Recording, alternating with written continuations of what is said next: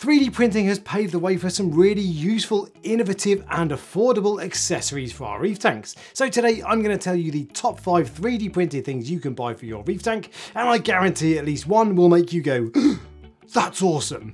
First up is controller mounting brackets. Now any DC powered pump, whether it's a premium powerhead like a Vortech MP40 or a budget return pump like a Jecod MDC, will always come with a control box. But mounting them is usually a little messy and my control boxes look like they were levelled by Rachel from Friends. Is that picture straight?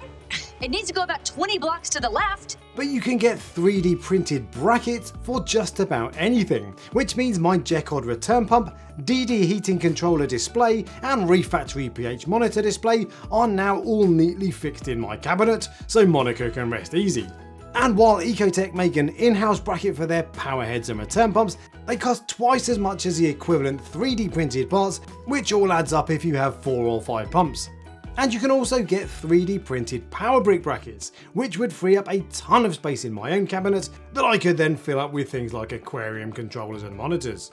Next up is the first thing on my list that made me personally go, that's awesome.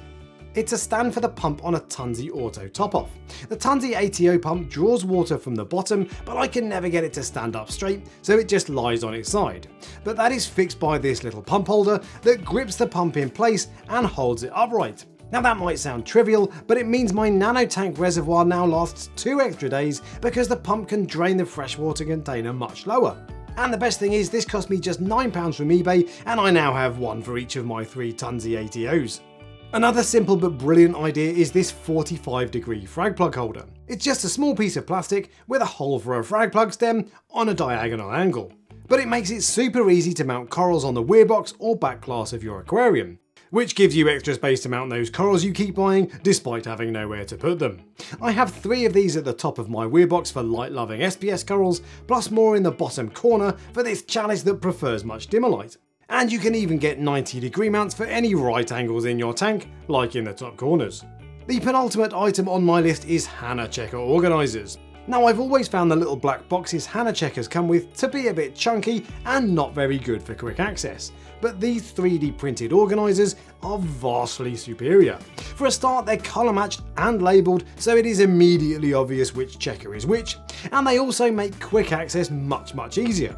And as stupid as it sounds, I actually test more frequently now I have these than when I had the checkers in black boxes. They hold all of the necessary reagents and cuvettes you need, and you can even get little drying racks for the test cuvettes. Now before I get to the final item, I have a few honourable mentions. There's this vacuum attachment that turns a Sicce pump into a sump hoover, this feeding hatch for my aquarium cover that also acts as a copper band feeder, this neat little magnetic corner frag rack that sticks easily to 15mm glass and sits out of the way looking much less conspicuous than a normal frag rack. And finally this 45 degree bracket for the AI Nero powerhead that allows you to point Neros in different directions. But the number one 3D printed accessory on my list is the Vortech MP40 Flow Director. I absolutely love almost everything about my MP40s except for the price and the fact you can only point them straight ahead. But these flow directors fix that and do a surprisingly good job. The outlet of the cage has slats that point the flow at an angle and the cage itself is a much finer mesh than the standard cage. There's a notch at the top of the cage so you know which way round it is, and you can of course rotate the cage to point the flow in any direction you want. Now the angle is of course fixed so you don't quite get the same flexibility as powerheads like Jecod or Tunze, and it still pulls eddies in if it's too close to the water surface, but it does go some way to removing the biggest drawback of MP40s, and it's created flowing areas of my tank that were previously still, all for a modest £20. Now this is not a sponsored video, I bought all of this stuff myself and the links in the description below are not affiliate links. And I'd love to know which of these you guys think is the best, so let me know in the comment section below. And if you enjoyed the video, give me a thumbs up and subscribe for next week. And until next time, happy reefing.